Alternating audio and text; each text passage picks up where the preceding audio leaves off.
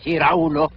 Hi guys, ako pala si Narutong. At ako, si Burato. At kami ay si Yudi Shippuden. At ngayon, mag-unbox tayo ng special edition Realme GT Nail 3 Naruto Edition. Oh! Si Realme GT Nail 3 ay isang sulit, super sulit na high-end smartphone from Realme. Pero kasi, ang mas special ito is Naruto version siya. Correct. Naruto yung box, Naruto charger, Naruto design, everything is Naruto right here. Hindi siya yung pipichuging bastang collab lang, no? It's pretty much everything Naruto in the box right here. Pero without further ado, alam kong super excited na kayo makita ang nasa loob ng box. So, yeah, here we go. Ako si Vince. Ay, ako si Narutong. At ako si Burato. Enjoy watching! Unbox ni Shipul.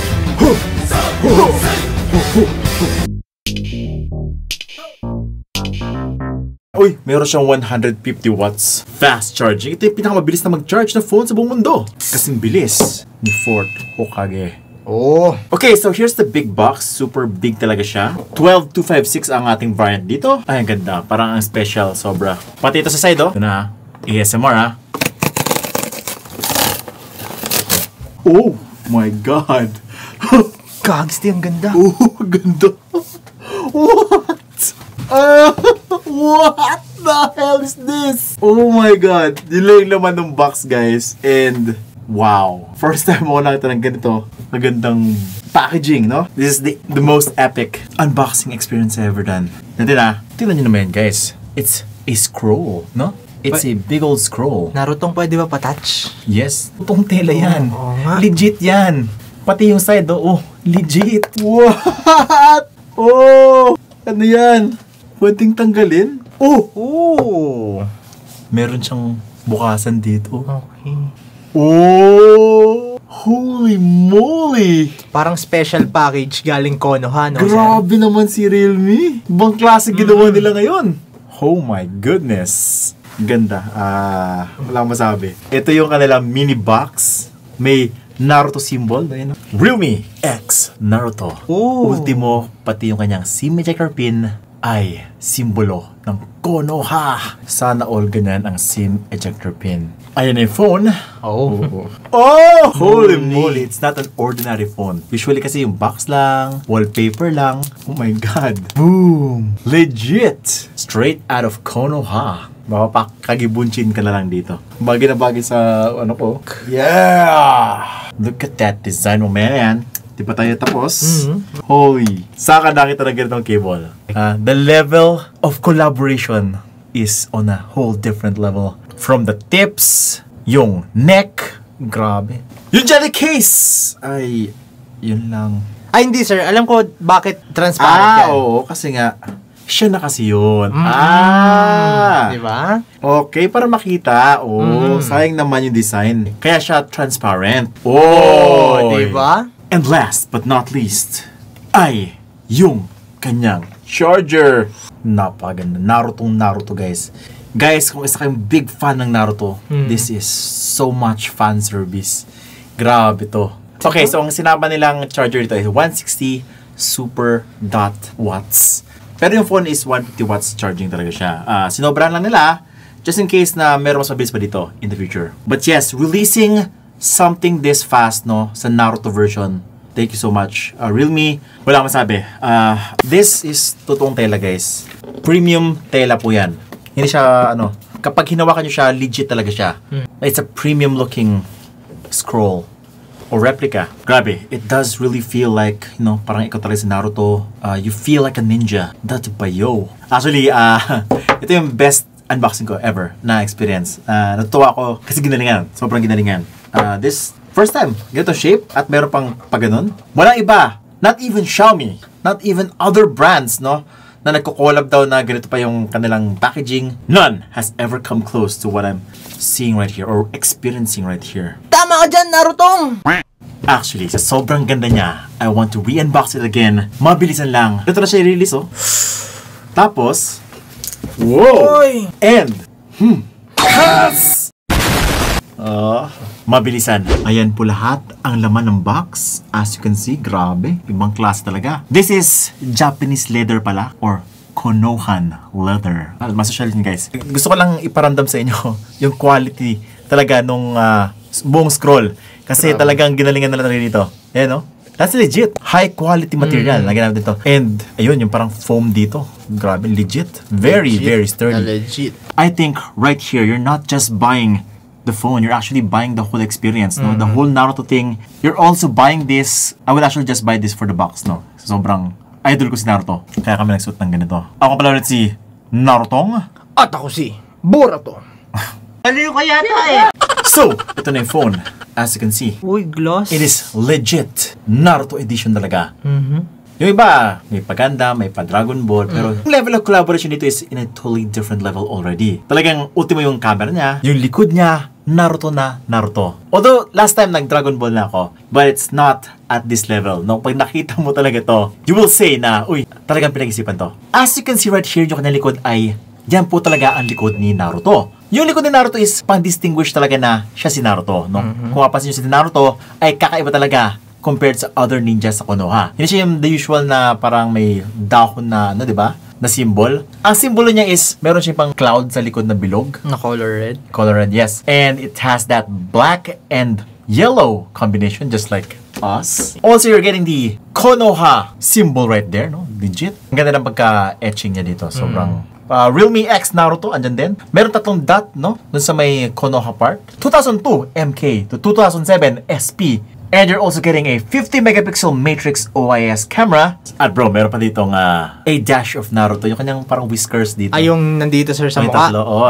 Ayan, no? Meron siya sa likod. 1, 2, 3. Ay, yung ano? 1, 2, 3. Diba? Kung Legit. yun, ah. At syempre, pwede bang plastic si Naruto? Hindi. Totoo pong tao si Naruto. Hindi po siya plastic. Tama. So, glass siya, glass. And the body is metal, I think. Hindi, metal pala. And the back is made out of metal as well. Mhm. Yes, it's cold to the touch. The back pala is parang matte finish, no? Masarap Totoo, siyang no? hawakan. It's smooth. Very premium. Just like Naruto. Ah, feeling ko matibay to. Na parang Corning Gorilla Glass 5 ata to na nalikod. Kasing tibay ni Naruto. Oh, nung dinefend niya yung Konoha ah, from pain. Winasak ni Pain yung ano, pero mukhang... Dahil sa defense ni Naruto, talagang malupit. Daliri lang.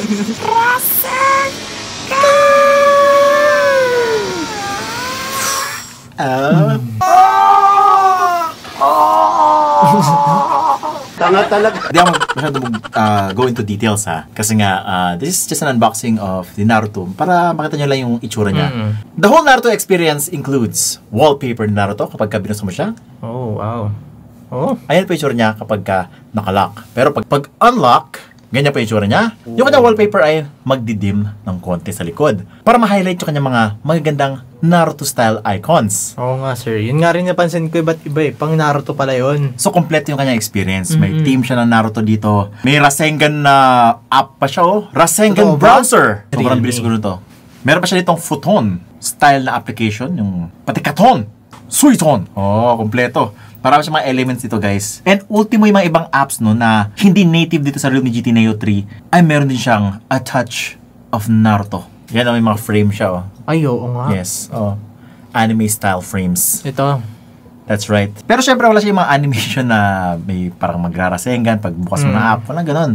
Ah, siguro dagdag na yun sa performance. Ano na yan eh. Correct. But through and through, no, it, this is still Realme UI. Kapag ka swipe down mo, it's still a traditional Realme UI. Mga tabi icons, I think yun yung limitation ng kanilang collaboration dito. It stops with the wallpaper and the application. So by the way, yung kanyang uh, display pala is 6.7 inch, 1080p, AMOLED display, 120 Hz refresh rate, HDR10 Plus, 1000 Hz touch sampling rate. 1,000 hertz? Mas mabilis pa yan sa Black Shark ha. Mm-mm. Grabe yan. 1,000 hertz. Si 7, 720 lang si Black Shark, pero to 1,000. 1,000 hertz. Pang-gaming siya. Gano'n kabilis si Naruto. Oh. Tanga! Ah! So, lumabas siya. So, yun guys. I know. So cringy. Kagebunshi no jutsu! Bakit naging kulot ka? Dapat clone. Teleport pala yung ginawa ko.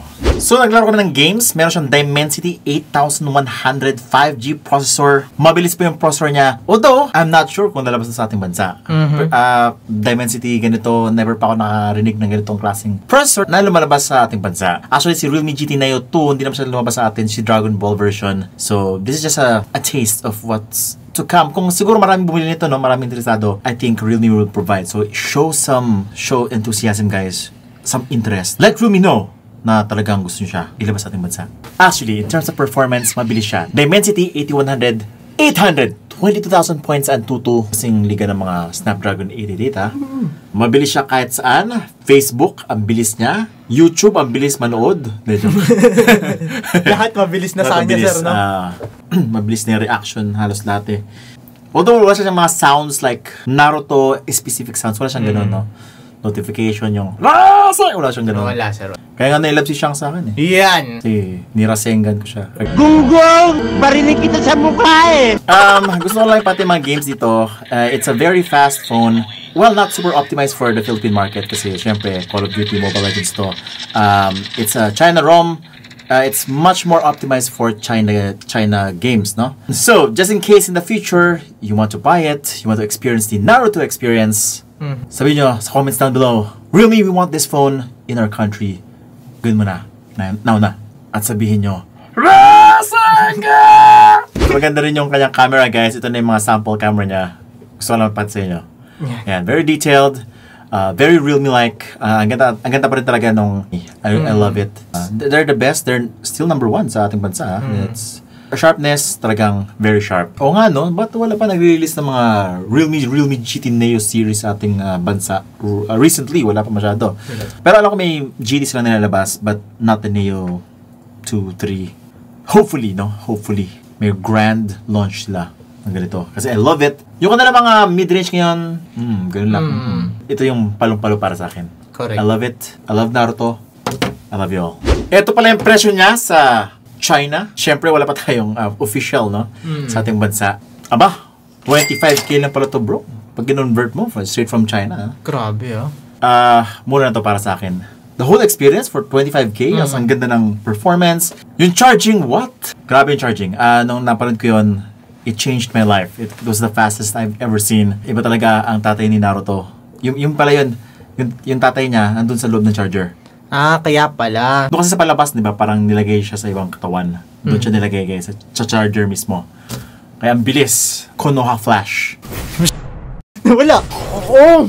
So yun, time to save the day with the Realme GT Neo Free Naruto Edition panglaban sa mga Akatsuki at kung ano na pang mga kalaban dyan. And if you wanna see more things like this, uh, kakaibang mga unboxing, mga, mga pagsigaw, weird things, subscribe lang kayo, hit the bell icon. Ako pa si Narutong. At ako, si Burato. And you're watching Judy Shippuden.